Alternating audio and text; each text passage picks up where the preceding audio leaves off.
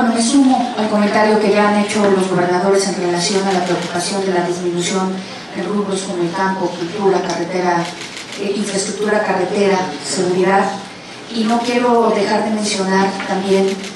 eh, pues, la disminución al 100%, desaparición más bien, del programa de apoyo a las instancias de mujeres en las entidades federativas.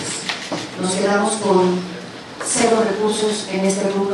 creo que es importante como mujer hacer un llamado a que no se quede eh, sin recursos un programa tan importante como es el programa de las mujeres.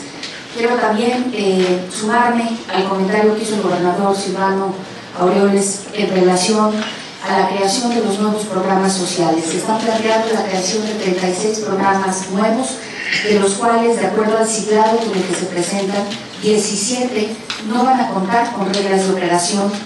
sino que van a funcionar a través de lineamientos en base al criterio del funcionario responsable de operarlo. Hacer un llamado a que haya reglas de operación y que no se manejen estos programas de manera discrecional, eh, porque creo que eso no es eh, la propuesta de origen del presidente de la República y es un tema que se puede prestar a otra situación.